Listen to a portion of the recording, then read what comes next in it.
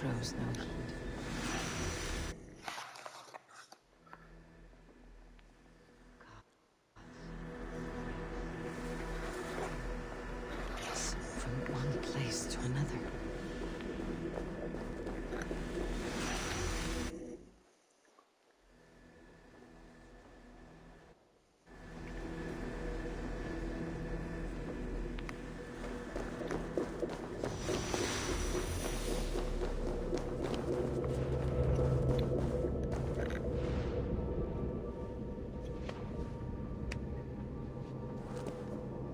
Thank you.